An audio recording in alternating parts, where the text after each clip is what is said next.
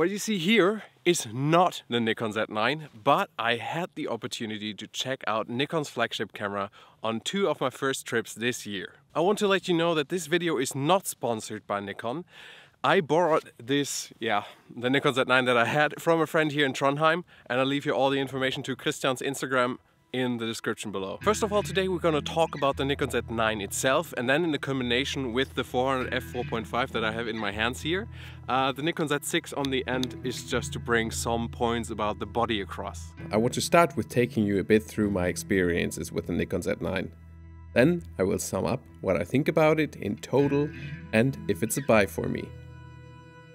The first time I got my hands on a Nikon Z9 was for a trip to Dovrefjell to photograph musk oxen. I was together with Trond Westby, Espen Hella and Oddbjørn Austavik and if you're interested in seeing that one, it's gonna be up here. Musk oxen in winter are quite often calm animals. They feed around midday and lay most often on the ground to chew up the sparse vegetation they could find. As long as the males do not get into fights, these encounters are very low action. There will be a video coming about all my winter adventures and let's say we will see muskoxen getting at it action-wise. So, subscribe to not miss out on that. But back to the situation we are in. The first day for me with holding the Z9 there, looking at resting animals felt a bit oversaturating.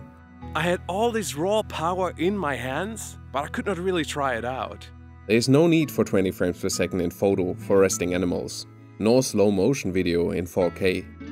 That is what I realized when I sat there and recorded animals in super slow motion, 120 FPS and 60 FPS, for no reason other than I had no clue what I was doing with the tool in my hands.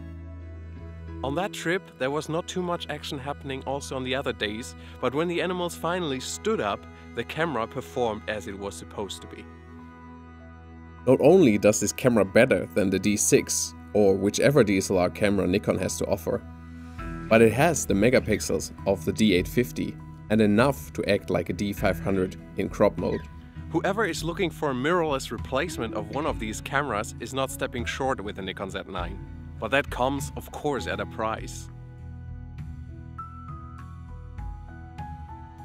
I'm used to only 24 megapixels, so 45 megapixels are quite a revelation in wildlife photography. Cropping is a thing we often cannot get around. But when we do not have to do it, that is a lot of pixels.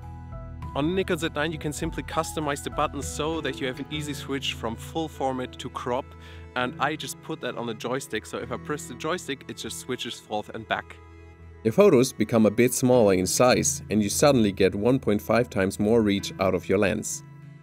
While that works out good enough, I'm always a bit disappointed with the look of crop sensor files. Of course this has to do with grain, light source to sensor size, teleconverter and so on. And that feature, I wouldn't really use it if I didn't really have to.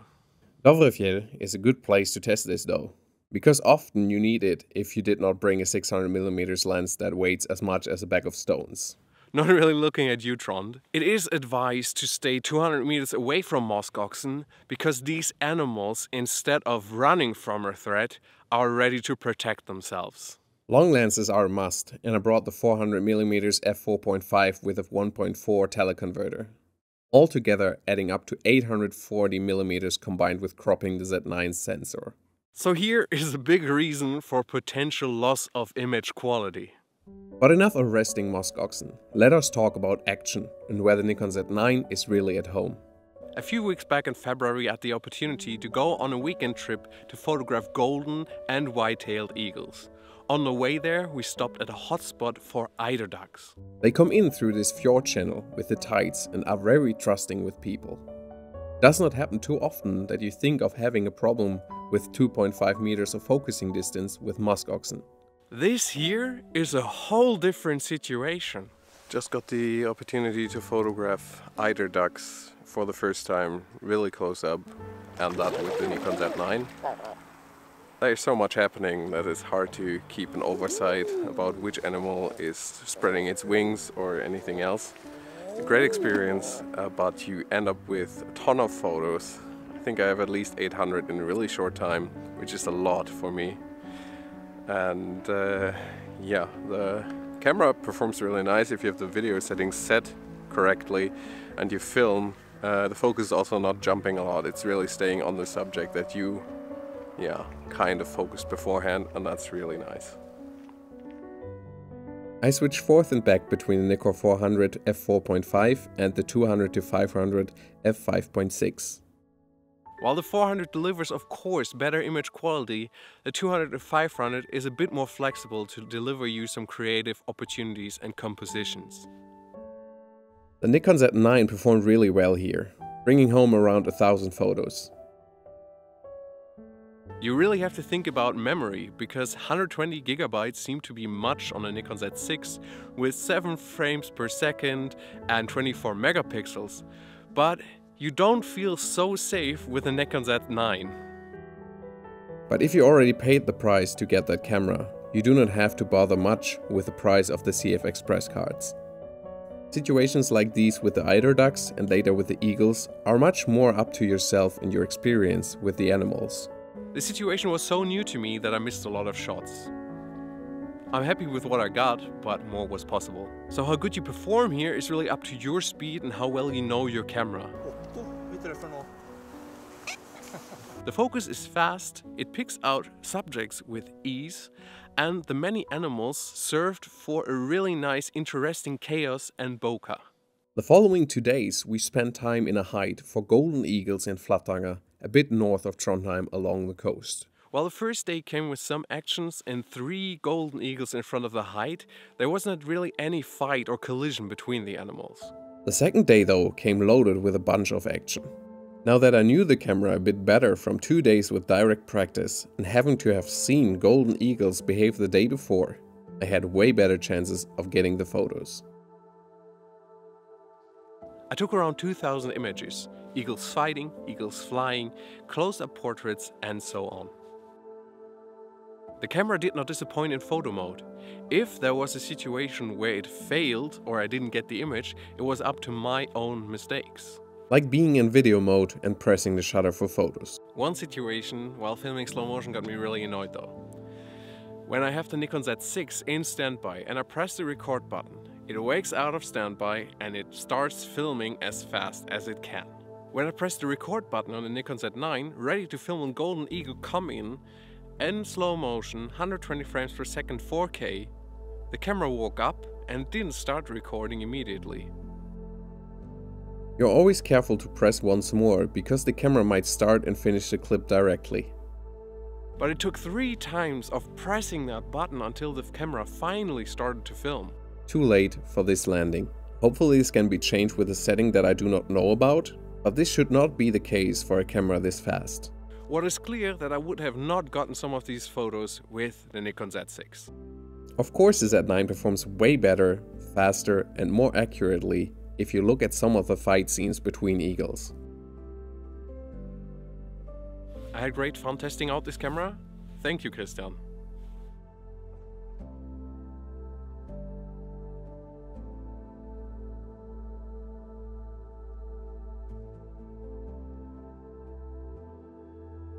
So let's shortly sum up the Nikon Z9 before we go over to the lens. 20 frames per second in photo is insane. You can get nearly every situation. It depends on how fast you are because the camera is. You though come home with a lot of photos so you need bigger memory cards. 4K in video, 120 frames per second is a dream come true. That's the feature I'm looking most at in the Nikon Z9. The only problem that I just talked to you about is that the recording somehow didn't start directly when coming out of standby. There are many buttons and many functions. This camera is fully customizable, something that I miss in other Nikon bodies. Of course, this takes a bit of time to get used to. Furthermore, this is a heavy camera. This is really nice if you have a light lens like the 400 f4.5 when you hold the camera really close to your body, you know? So handheld becomes so easy you nearly don't need a tripod because the main weight is close to your body and stabilized. On the other hand, this reminds me of having an old DSLR camera. I don't want that ever again. It makes nearly this lightweight lens obsolete in a lot of other situations. The weight can't be software, of course, so it's a really solid build quality. That's nice, because I think with the Nikon Z9 you could hit a stone and the stone would break before the Nikon Z9 but it is really big, maybe too big for my hands, because I had problems, for example, if I use the FN, the function buttons on the front, and I want to get to the video switch, I don't like where it's positioned. Uh, I need way too much movement to get there. Of course, it's something you would get used to, but I think that's just not the right thing for me. In my short time, I enjoyed the greater focusing modes the most and the 3D tracking, of course. In all modes, I have object and animal tracking activated, which can help to keep the focus and tracking centered on a specific area. In contrast to the Nikon Z6, where I have all focus modes on the function 1 button, on the Z9 I only had activation for 3D tracking on that button. Because I don't want to waste that button and all the focusing modes work so fine like they are. The function 2 button I use to switch between banks. That's just to have different settings for different light situations, just to have a really fast switch. I didn't have a review button on the front because the Nikon Z9 has a review button on the back, on the right side, so you have it accessible with your right hand. You don't have to take the left hand off the lens.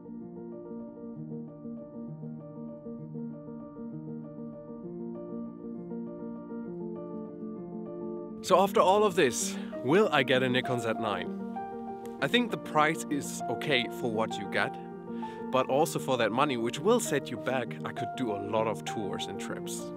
But especially the weight reminds me of dragging around a DSLR camera. Don't get me wrong, I loved my first Nikon DSLR, the D750, when I got it into my hands. But never again. I thought I would miss the Z9 more.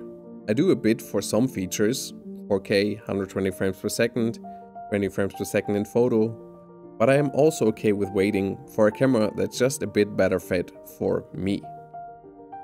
This means in essence basically a potential Nikon Z8 or a Z7 third generation.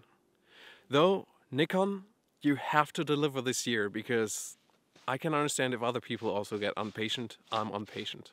And now to a lens that you all seem to be really interested in, the Nikkor 400 f4.5. This is basically a PF lens with a Z mount, really lightweight, 1.2 kilos, solid build and weather sealed. Build quality wise it is a pretty solid lens as you would expect for around 3.5 thousand euros or more. Rain and sealing was always an issue for distress for me when using the 200 to 500 which is not sealed. Besides the lens function button, we have two switches, autofocus to manual focus of course, and the focusing range, full or 6 meters to unlimited. The last one I had on on Dovrefjell without noticing, and that was really annoying. The memory reset button is on the other side and pressed by your right hand. Besides the focusing ring, we have another ring here that is also fully customizable. So far I have not found a real use for this one, but putting the aperture on it. But it is nice to have. The same goes for the lens's function buttons, here and here. This is really up to the person using it. I like to connect these with the focus memory. A feature that saves your focusing distance and calls it back when clicking the button assigned. Especially with the Z6, this has been a neat function because the Z6 has some back focusing issues. I could live with it and work around it, but as f4.5 becomes even more narrow than 5.6 and the lens does focus faster than the f-mount 200 to 500, this lens shows the weaknesses of Nikon's first generations even clearer. With the Nikon Z9, the focusing system and the lens work really good together as intended. But also here, the focus memory feature can be really useful. If you're filming one situation and you save the focus for another one where you know there's something gonna happen soon. For example, an eagle landing on a prey while you are filming in another direction. The pictures produced by the lens are sharp with a nice bokeh at f4.5. It might not be a 2.8, but it is lighter and it does not cost you a car or a kidney. On top it can easily be transformed into a super light 560mm f6.3 with a teleconverter. I use it obviously with the musk oxen on Dovrefjell, but also to take some close-up portraits of the eagles here and there in between. As said, I'm not too convinced of cropping the sensor on top. Many of you might consider to getting 100 to 400 instead of the 400 and I think that is also a nice choice from my point of view. But keep in mind that f4 lets in the doubled amount of light compared to f5.6. For myself, I think sometimes the 100 to 400 would have been a better choice because I'm recording more video these days. While a zoom is the way to go for video and having the lens on a tripod, the 400 f4.5 might be the better photo option from my perspective. A fixed focal length will most probably always make you a better photographer because you have to just work this more creatively out. In short, price. This one is not as expensive as other pro lenses, but it's solid, it's sharp, and it gets you away with an affordable price comparably. The downside is it's not the fastest lens to be inside the forest in the evening. Wait, this is an absolute win because you can run around with this lens in your hand for hours without tiring. Especially if you have a smaller body on it for the Z50 that doesn't weigh anything. I mean what you directly lay notice to while you walk with this, this is not in my hands. It is though really hard in video to balance that lens out on a tripod, especially if you have a camera like the Nikon Z9. Image quality. Very sharp and very beautiful photos and very nice bokeh at f4.5. Downside, it's not as creamy as the 2.8, but it is what you get at that point of a price. That was all I had for you today. I hope you enjoyed this real life review of the Nikon Z9 and the Nikkor 400 f4.5. If you want to see more videos like this, let me know down below. Thank you for watching, see you soon on the next one.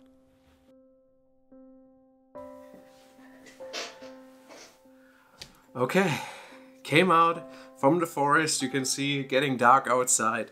It's January and the days are short, but we have some beautiful new snow. On these days I have a rather new companion. I borrowed a Nikon Z9 from a friend. Thank you Kristian that I can just uh, try this out. Well, let's talk about the good things first. I can't say so much about the performance yet you know the numbers, uh, 20 frames per second in photo, um, 8K recording, which is really interesting for me, 120 frames per second, 4K. That's that's the seller really for me uh, of this camera. And if you look at it, a lot of buttons everywhere to customize uh, everywhere. Everything's full with buttons and uh, you can choose a lot of functionalities. So that's really great about this camera. Uh, it seems really stable. I, I think you could hit a rock with this and the rock would break. So the body of the Z9, yeah, really sturdy thing, really a beast. But talking about a beast, it's a heavy beast. And you see that I have the 400 f4.5 on here. Really light lens, 1.1, 1.2 kilos. The, the body seems to be heavier. Um, so I'm really not sure. Maybe ship shortage the last years, but definitely not stone brick shortage the last years. Um, it kind of makes this lens obsolete. I have some focusing issues on the Z6, like it focuses fast, but the problems of the back focusing on the Z6 become more obvious with this lens uh, because it it focuses faster on the back. but uh, with the new firmware update we have memory set which I have to try a bit more out on the Z6 but the Z9 yeah even if I had the money let's say so this thing is expensive I wouldn't buy this because this is not the camera for me it certainly is a camera for a lot of people. If you're someone, uh, and that's just the first impression, but I can already say that for me, if you're someone that goes on a lot of uh, planned tours where you don't walk so far, or if you do a lot of uh, height photography, this camera will probably be the thing for you in wildlife and nature photography. If you're someone like me that goes and wants to go even further into the national parks, drags a lot of gear with him, uh, a tent and everything, because that's for me the feeling of wildlife photography. And this thing is not the right thing for you. And it's not the right thing for me. And I will not buy a Z9 even if I get the money scrapped together. I rather would like to have another model because with this lens, if I put the Z6 or Z50 on, I'm so happy. It doesn't weight anything. I will have it always in my hand the whole time. So I'll make more photos. This one I can't imagine having having in my hand more than two hours uh, straight. This thing goes into the backpack, means less photos, which is not a seller for me at this point. It feels like, yeah, great camera, but it feels like I got a DSLR bag. It's really heavy and it drags me down. So it's not the right camera for me. Still, I'm looking forward to testing this one out in the coming days on Dovrefjell, and then I can maybe tell you a bit more about the performance of this camera. It's a beast, but it's a heavy one.